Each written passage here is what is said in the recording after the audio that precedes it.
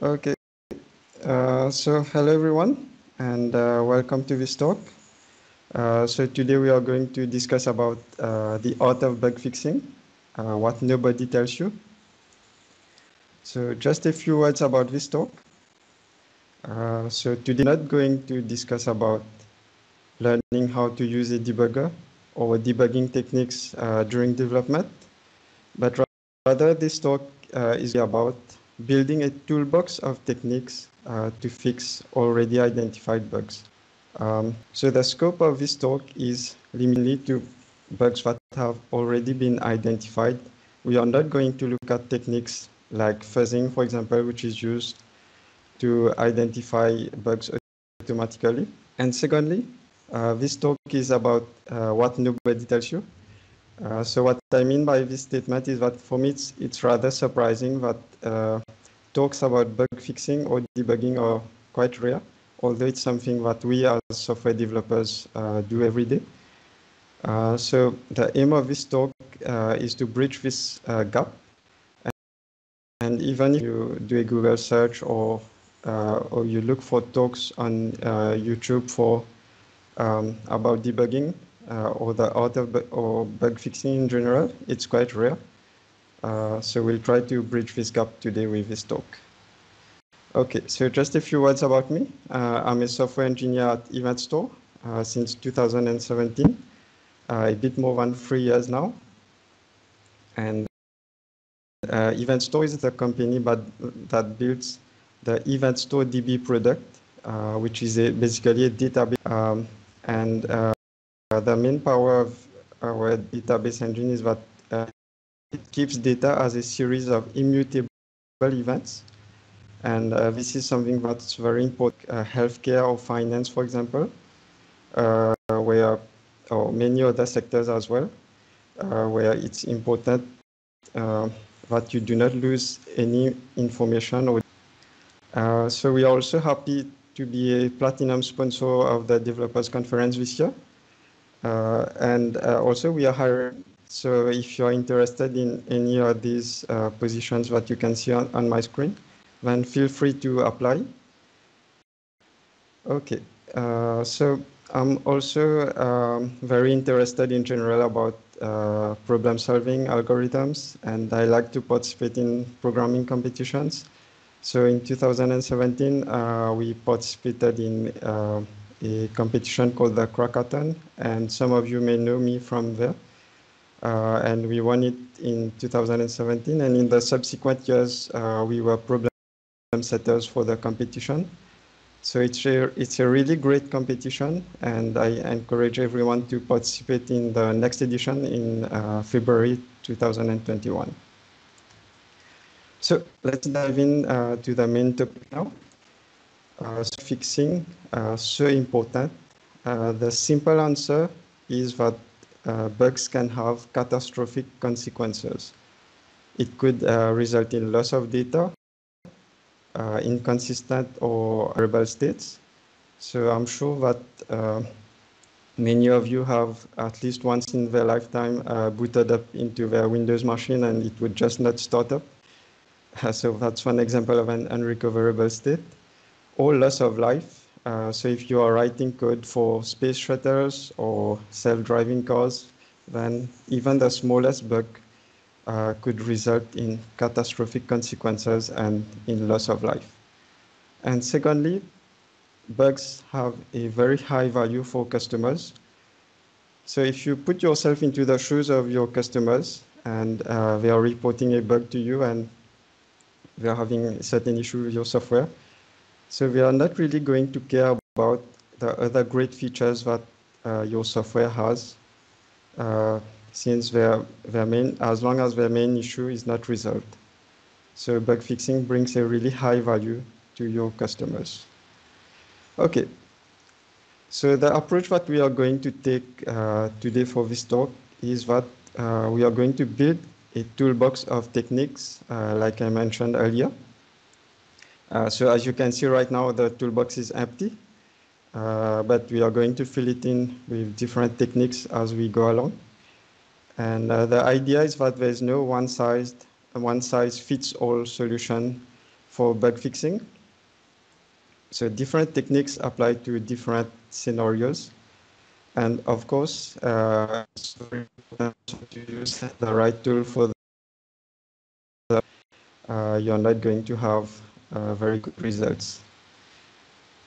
Okay, so the first uh, scenario that we are going to look at is a situation where all you have is uh, log files. So it's a pretty common situation to be in.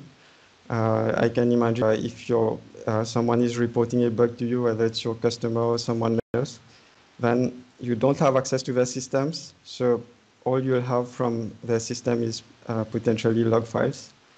So it's a pretty common situation to be in. And uh, so let's just look at a small code snippet here. Uh, so this is the code uh, for uh, uh, a restaurant. There's a function called canbook that you can see, which takes an in, as, as input a date and a time. And basically what this function does is that it returns true. So if you look at this code snippet, um, there's a canbook function which takes as input a date and a time and uh, it returns true or false depending on whether or not you're allowed to do a booking at this date and at this time. So for example, from Monday to Friday, the restaurant is open from 5 p.m. to 9 p.m. Uh, during weekends, it's open during the morning from 10 a.m. to 9 p.m. and on public holidays from uh, 10 a.m. to 9 p.m. And here we are assuming that uh, only the 25th of December is a public holiday. And when we call our function canbook uh, with the 25th of December 2020 at 10 a.m., it's actually returning false. And that's a bug because uh, public holidays, uh, on public holidays, the restaurant should be open uh, from 10 to 9 p.m. So um, one approach that you could take maybe to try to approach this bug is that maybe you do a review of the code and uh, go through it and try to see where the bug could be. But uh, if instead I give you the logs for this particular run, so in this case, the logs are outputting day of week. So we immediately know that the application went through this code path here. And uh, basically that's the bug because uh, the intended path was to actually go through this uh, path here, uh, where uh, we are checking whether it's a public holiday. So basically, we've got an ordering problem uh, in our code, and this check here should be at the top. So I just want you to think for a second about what we've just done when we looked at the, this line in the log file. So what we've done is that we've logically inferred the code path taken based on the logs. And just by looking at this line, it has helped us reduce the search space to only two paths uh, instead of seven paths.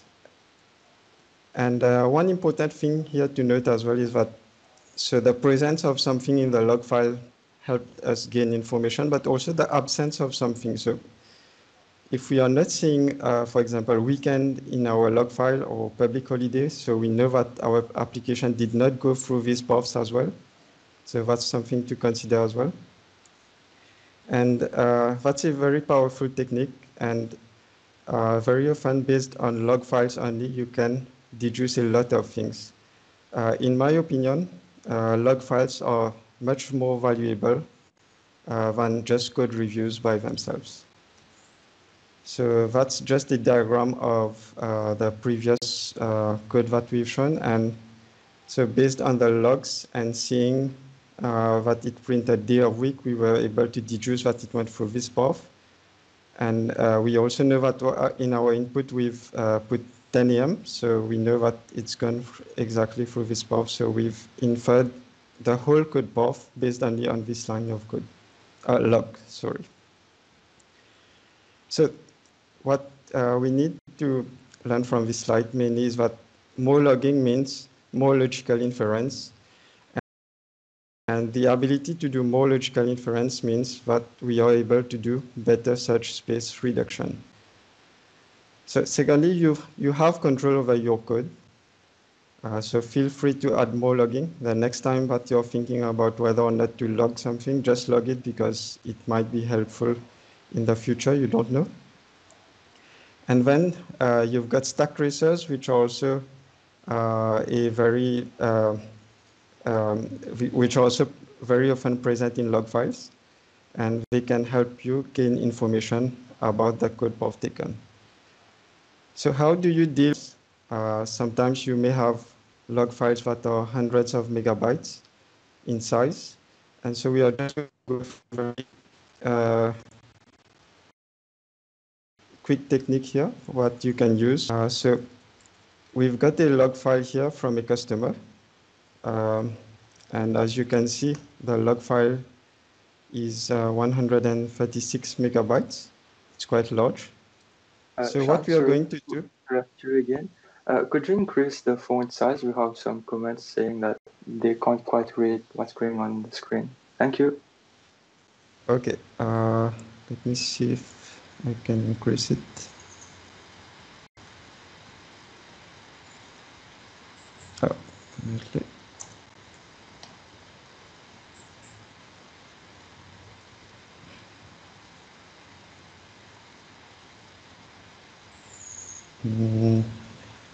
Not sure I've got uh, uh, an easy way to increase it here, but what I'm going to do is that I'm just going to copy the command uh, into uh, VS Code here so that uh, you can view it. So uh, I hope it's a bit better now, although I know it's approximately the same size. Oh, here it is.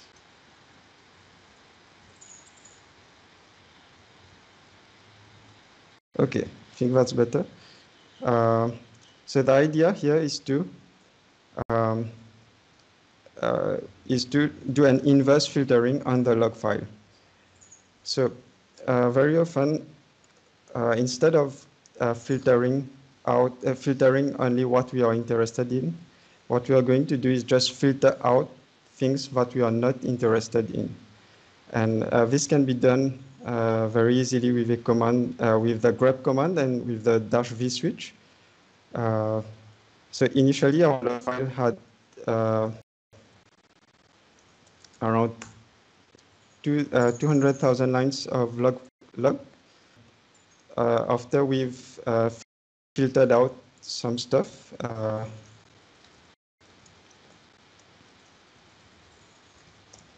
so here, for example, by just looking at the log, we can see that there's some redundant stuff that's repeated over again, and we are not interested in it.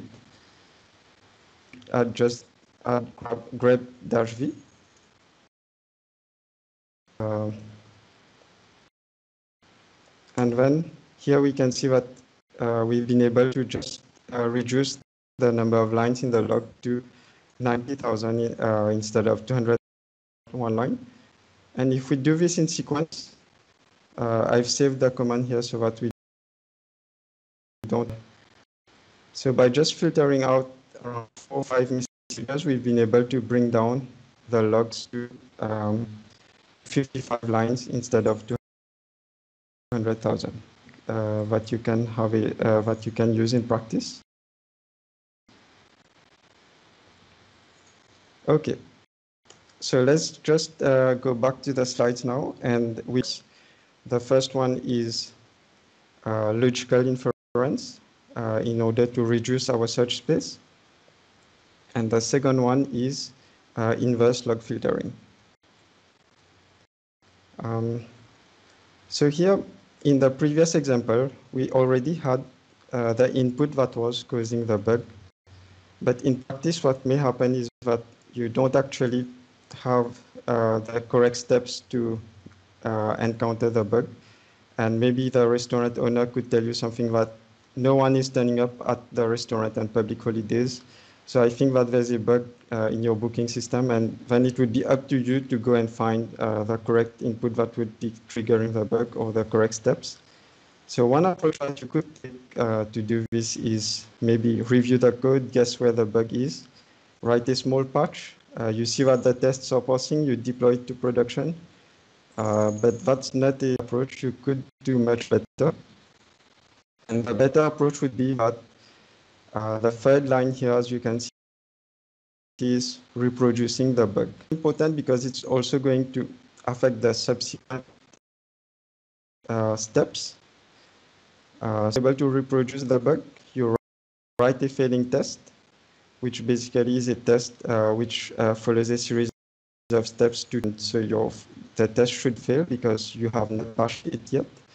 Then you write a patch, and now your test should pass. And then you can get your code reviewed or else. So, so the important thing in this slide here is that had not been able to reproduce the bug, you would not have been able to write a failing test. And uh, even worse, your colleague or code would not have been able to confidently say that the bug has been resolved. So reproducing bugs has got a lot of advantages. And here in this case, uh, the reproduction steps would simply be that you can the call function with this specific input. So advantages of reproducing the bug is that we can confidently confirm of the problem. And secondly, reproduction steps are a bit like a language for developers uh, to precisely describe the bug. Steps can be handed over to someone else. If you're going on holiday, then uh, at least you've uh, documented all the steps required to use the bug and someone else can pick it up and attempt to fix the problem. And then finally, reproducing the bug may make it easier to fix. So now we are going to look at some techniques uh, in the realm where we have been able to reproduce the bug. So in, in the first phase, we are going to look at a few techniques when we've been able to reproduce the bug. So this is really great. Uh, everything is beautiful, but then there's also the, also the case where uh, we've not been able to reproduce uh, the bug. And we are going to look at a few examples of what we can do in these situations. So first question that we are going to ask ourselves is, was the previously and uh, the bug was later introduced at one point in time in the code base. Um, so that's something pretty that can happen very often. And in this case, um, one tool that you can use, which is very helpful for these situations, is uh, git bisect. So bisect is just a subcommand of git. Okay, so we are just going to walk through a small example of git bisect. Uh, first of all, what does git bisect do? Um, so basically, you choose a starting commit and uh, an end commit. So the starting commit uh, does not need to contain the bug, and uh, the and uh, the final commit uh, needs to uh, contain the bug. So what git bisect is going to do is that you you know that along this path from this good commit to this bad commit, there's one point where the bug has been introduced. Is that it will choose a commit in the middle, then tell you uh, to reproduce the bug at this specific commit. And if you are able to reproduce the bug at this uh, specific commit, then it means that the bug was introduced earlier. So you can basically reduce uh, the, the search space to the first half of all these commits. But uh, if uh, when you're running your code on this commit, you're not able to reproduce the bug, it means that it was introduced later. So we are just going to walk through a small example here. So I'm assuming here that uh, you are already familiar with Git. And uh, here we've gone, uh, we, are, we are only verifying if uh, the, the purpose of the application is to verify if a number is prime or not. So let's just, let's just walk through a small example. Uh, 13 is a prime number. So the program will output prime. Uh, 12 uh, is a composite number, it will output composite. But then we realize that there's a bug when we enter 49. Uh, 49 is 7 times 7. It should be a composite number, but it's telling us that it's a prime. So we've already got our bad commit because uh, we know that there's a bug at this point in the code. But now we need to look also at commit. So what I'll do now is just just uh, switch um, to a commit where I think that uh, the bug was not present at, at this point yet, and then just run my application. So I enter 49 again, which should be uh, uh, a composite number. And that's right, it's telling me that it's composite. So it means that at this point in time, the bug was not yet introduced. So we've got a bad commit and a good commit, and we can start uh, our bisecting. So to start the bisecting, what, what we'll do is basically we just uh, type in git bisect start. Um, then we say git bisect uh, bad, and uh, the bad commit is already on the latest uh, commit and master.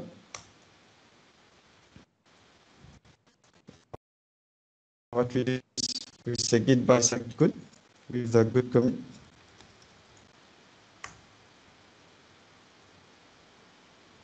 Okay, so now as you'll notice, uh, Git has switched us to another commit.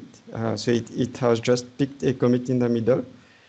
And what we need to do now is test this commit and see if the bug is present. So it's, it's just a yes or no question that we need to tell Git.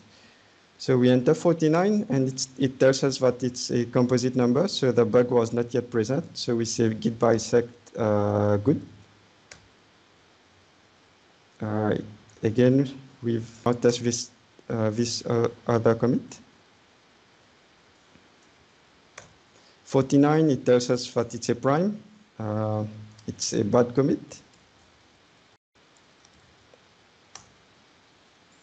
So we are now left with one commit to test.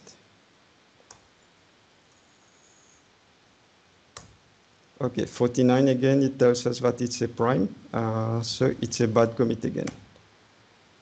And here it is. Uh, Git has already identified uh, the commit which has introduced the bug. So that's a pretty handy technique.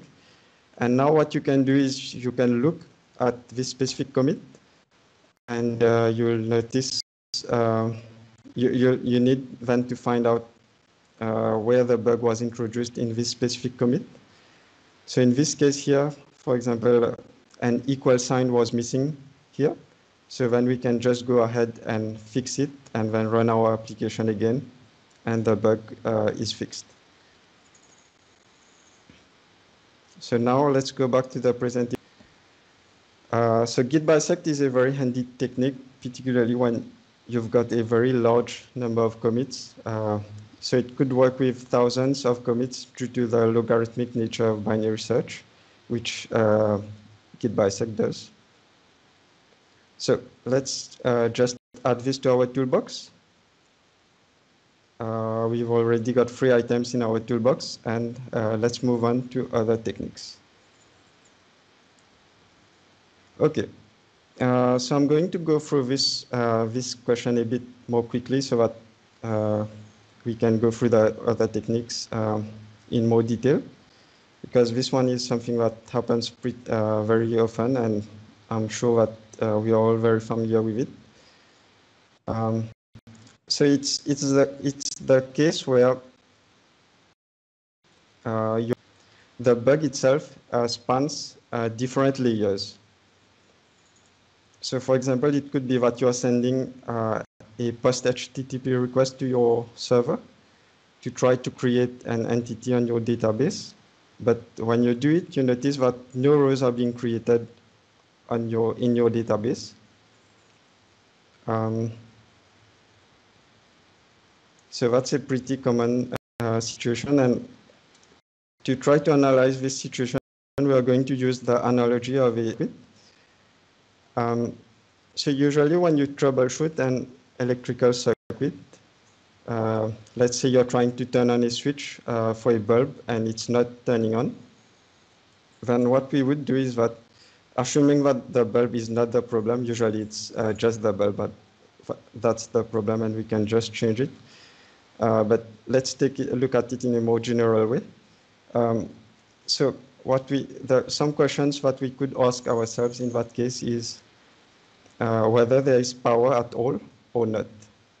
So if we switch on another light bulb and we see that uh, there is, uh, the other bulb is lighting, lightning on, uh, then it means uh, is lighting on, sorry, then it means that uh, the mains power is all right, and uh, maybe the bug, the problem is another in another place in the circuit. Um, so the important thing here is that what we are going to do next is that we are going to guess that maybe, okay, maybe the problem is with the power outlet where the light switch is taking power from. So we are going to uh, put our screwdriver to uh, to test uh, the outlet and see uh, if there's power there at all. And then if there's no power there, we know that the problem is before this. So basically what, what we are doing, we are identifying test points in the electric circuit. So some examples of test points could be the power socket, uh, the outlet, the switch, uh, the apparatus, or even the wires between each of those components. So in the same way, um, if we look at the example of uh, our HTTP server where we were sending a request to the database. Um, uh, we can apply the same techniques there. So the first thing is that we need to identify test points. So I've just uh, redrawn this electric circuit here in the form of another diagram where each orange point is a test point. Um, and in the case where we are using uh, of the database, for example, um, the different layers there could be maybe the HTTP server, the request handler, the ORM, and the database.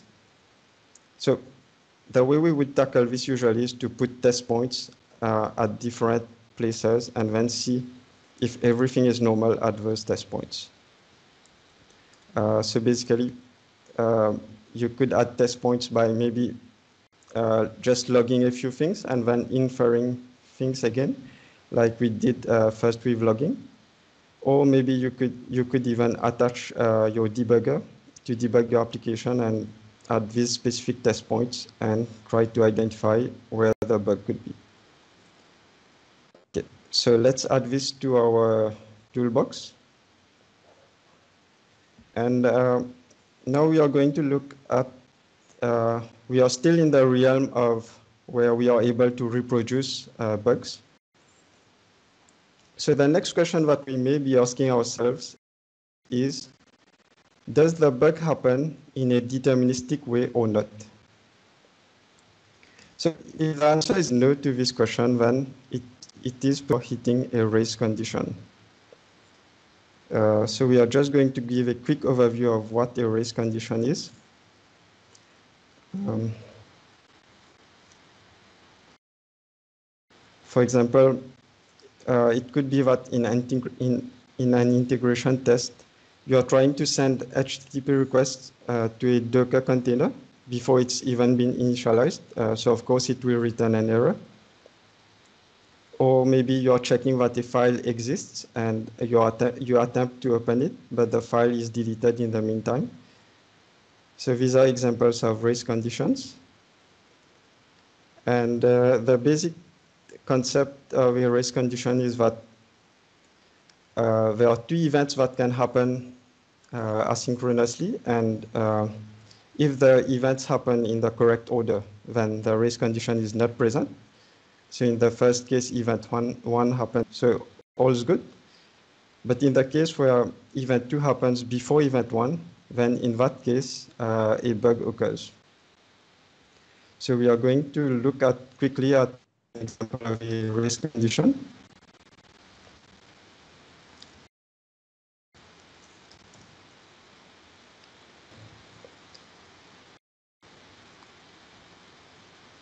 So I've set up a very small example just to illustrate the concept.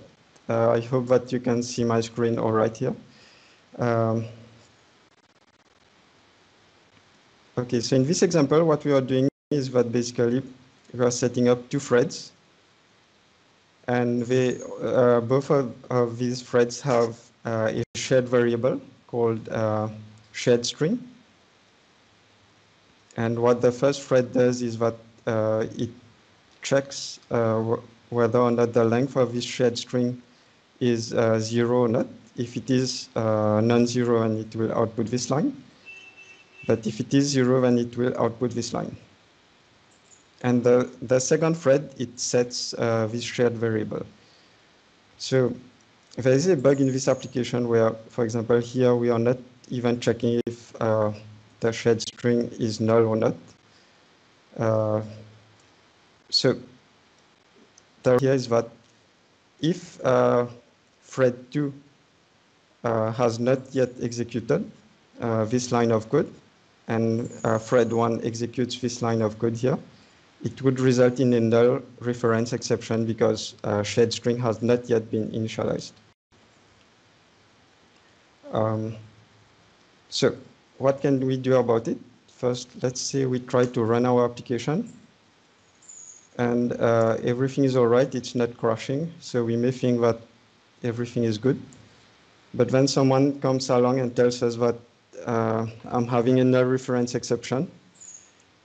And but you are not able to, reproduce it. So you go and you look at your code, and when you guess that maybe that's a race condition, and uh, what's happening is that shared string is null here. So what you could do is, in that case, is you make it easier to reproduce the bug. So for example, we could delay this function, uh, this uh, line of code here by just sleeping for a few milliseconds changing the behavior of the code at all uh, in terms of the correctness. And then we, we run our application again. And here it is. Now we've got our null reference exception. So that's a very hand can use by adding delays into your code to generate race conditions. Another technique that you could use in that case without even adding any delays is that uh, is that you could set the, the affinity of the process to use um, a specific C, uh, CPU core. On Linux, what uh, we can do this, do this with uh, this command.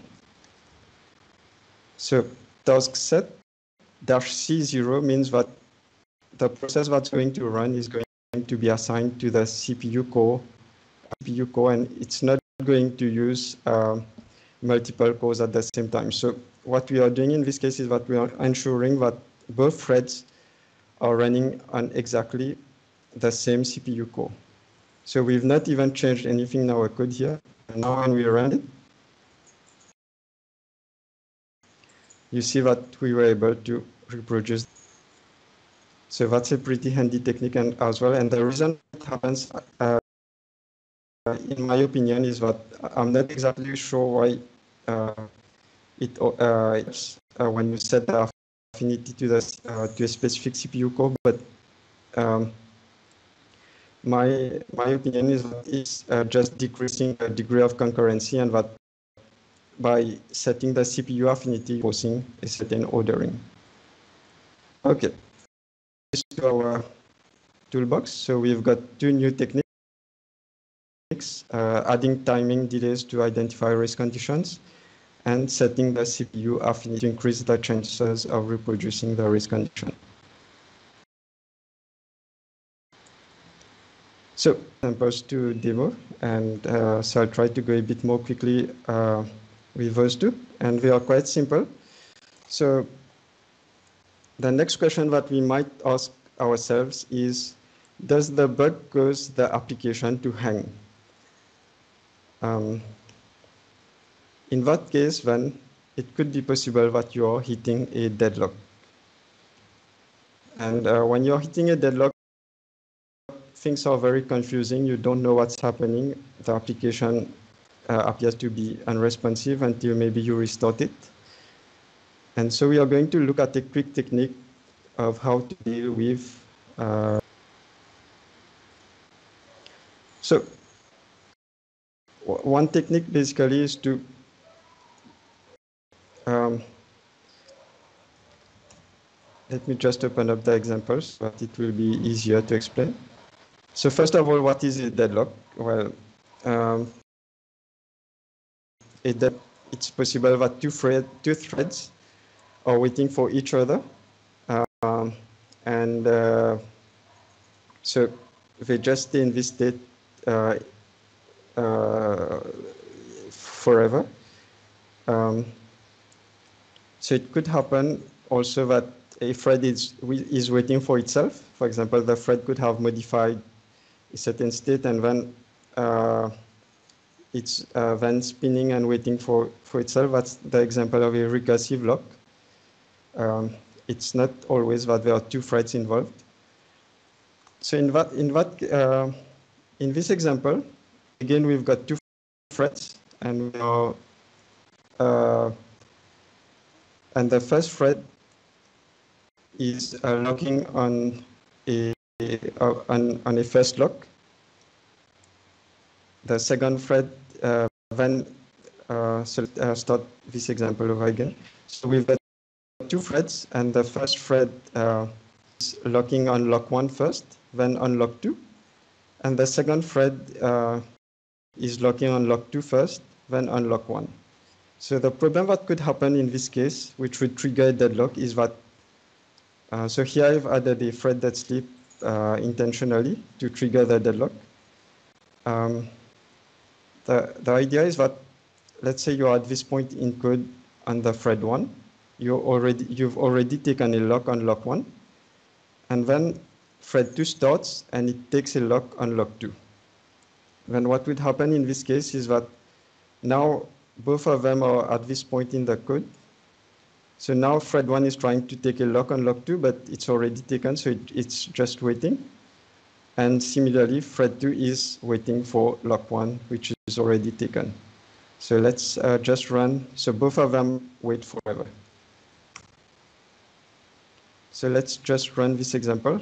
And uh, right now I've been able to trigger the deadlock immediately, but usually it's uh, here, for example, it, uh, it did not deadlock.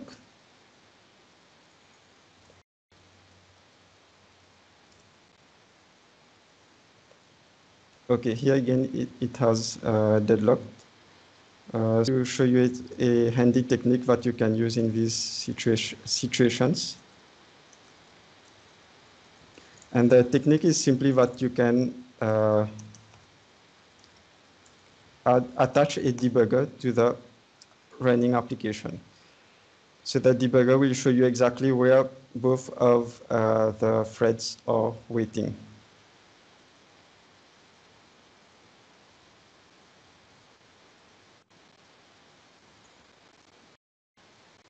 So let me just open up uh, my ID and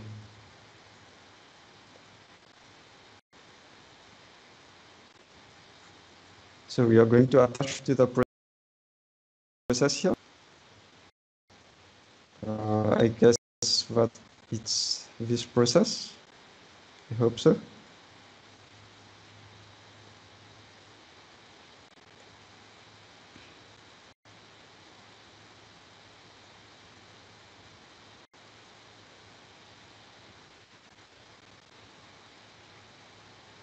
Waiting for the debugger to attach and uh, we just pause the application.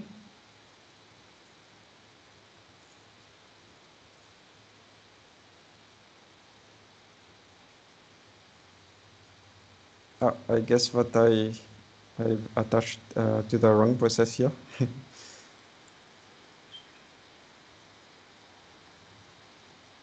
uh, Okay. Let me just run it again and then attach again.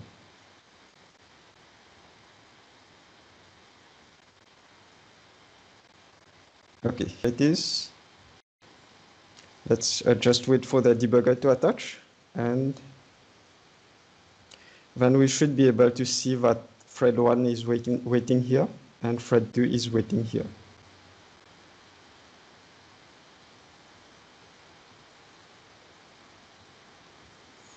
Okay, so the debugger is ready. And now we can see that in thread 1 it's waiting on this lock here and thread 2 is waiting on this lock. So we can then deduce that it's definitely a deadlock. Okay, we've got only a few minutes left, uh, so I'm just going to go through the free last example, uh, which is pretty interesting. Um, so sometimes it, it happens that the bug uh, occurs only on CI, but not on your machine. So how do you debug such uh, instances? Well, one technique that you could use in that case is that you could use a reverse shell. So uh, what exactly, uh, usually there, there are some CI platforms like Appveyor that allow you to get access to the machine that's running. Uh, you could do a remote desktop, uh, but if that's not the case, then one handy technique that could come in is that you could use a reverse shell. Basically, you know that the machine uh, that's running on CI has got access to everything on the internet, but uh, you can't uh, connect to the machine uh, uh, by going inside the, the machine's network. So instead, what we are going to do is that we launch, uh, we listen on a socket on our own machine, and then make the, the machine and CI connect to our own computer, and then we get a shell on the machine. So I'm just going uh, uh, this example in a few minutes. But so I've already set up uh, a pipeline here, which is running on macOS. And what we uh, just run the pipeline and I'll explain what's happening.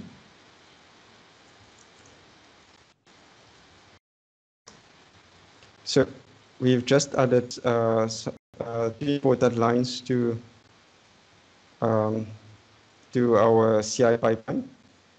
The first one is the mo most important one, which is basically uh, it's connecting. That's my public IP address, and I've port forwarded a port on my machine. Um, so this line here on CI will launch uh, the uh, a connection from the CI machine to my machine.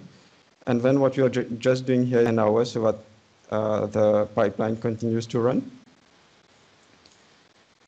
Uh, so I'm just going to launch uh, a socket here uh, and listen on a socket. I'm going to run the pipeline.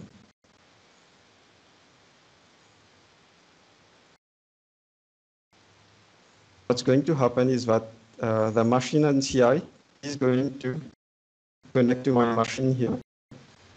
Uh, we are just going to look at the job while it's running.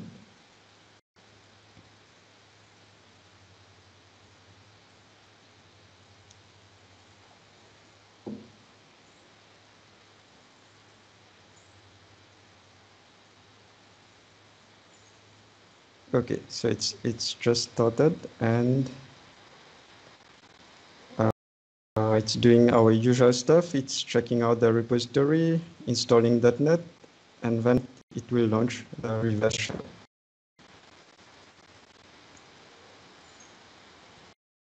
Okay, so here is the connection incoming from the CI machine. And here we've got access to uh, machine running on CI. And now we are uh, running as a user called runner, but we've got even got sudo access. So from this point on is that you can even launch your debugger attached to a process and see what's going on on the machine if you can't uh, figure out. Okay, so we've we are uh, one minute.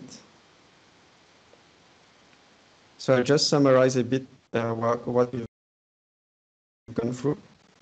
Um, I didn't have enough time to cover, cover all the techniques, but um, basically, uh, these are the techniques that we've covered, but I'll just summarize a bit too in the case where uh, we were not able to reproduce the bug. That's the uh, the other side of things. Uh, when we were able to reproduce the bug, this opened up a lot of possibilities for us, but it sometimes happen that, uh, happens that we are not able to reproduce the bug.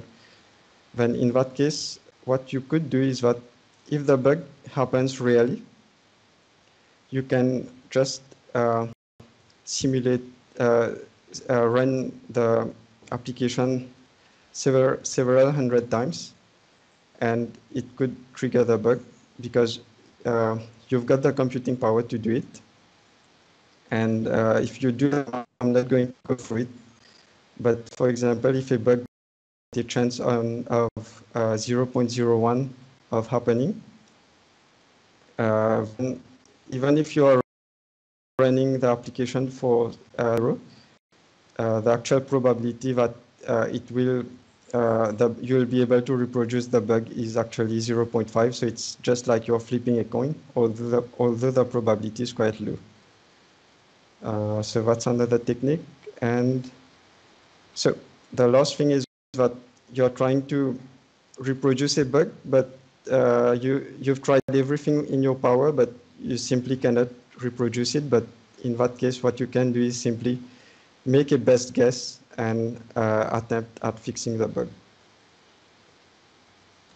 And finally, uh, when everything else fails, uh, you've, you've got no idea about uh, where the bug is. Uh, you've tried everything in your power.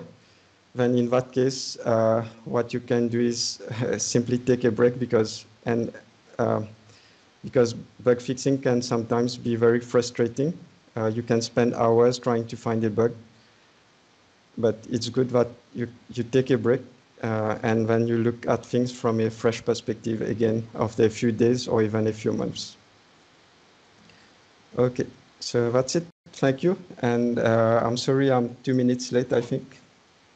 Uh, so I guess uh, that I'll now uh, thank you everyone for watching and thanks to our hosts, uh, Neil and Chitesh, and to the organizers of the conference. Thanks very much.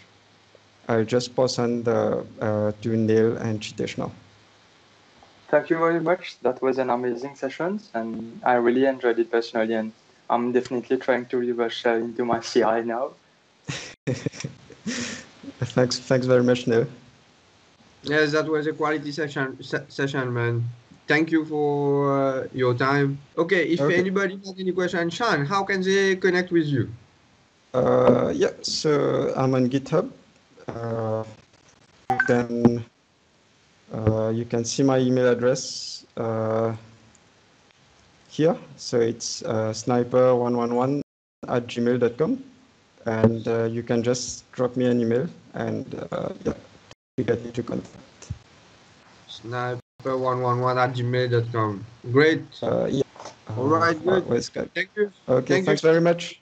This presentation